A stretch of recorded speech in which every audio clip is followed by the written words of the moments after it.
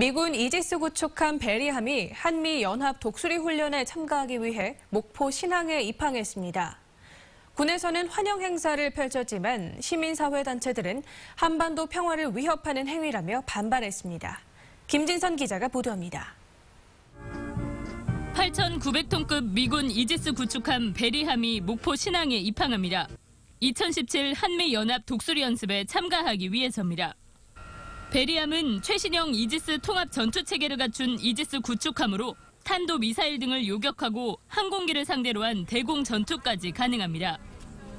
uh, with, to increase our interoperability, to uh, gain uh, our alliances with our Republic of Korea Navy, and uh, we're, we're forging our, our alliance with in the um, in the Korean Peninsula. So.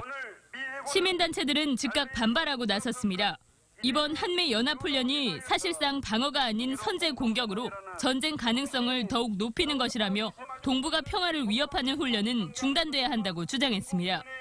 지금 사드 문제로 중국이 굉장히 예민하고 자극화, 자극시키고 있는 조건인데 가장 중국과 근접하고 있는 이 목포에서 이런 배가 들어오고 훈련을 한다는 것이 굉장히 위험천만한 일이라고 좀 생각합니다. 베리함은 시민에게 함정 공개 행사를 연 뒤 오는 19일부터 나흘 동안 해군 삼함대와 함께 대한민국 남방 해역에서 해상 훈련에 돌입합니다. MBC 뉴스 김진선입니다.